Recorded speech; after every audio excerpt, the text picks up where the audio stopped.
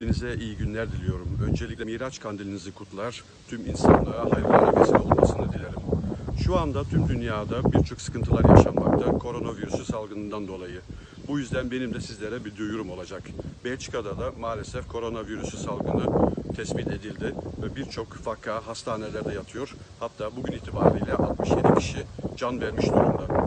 Genk ve Hasselt Hastanesi'nden aldığımız bilgilere göre şu anda koronavirüsü salgını nedeniyle vaka olarak hastanede bulunan hastaların yaklaşık %50'si Türklerden oluşmaktadır.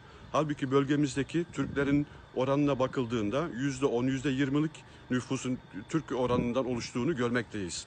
Demek ki bizim Türk insanımız alınan önlemlere yeteri kadar dikkat etmiyor.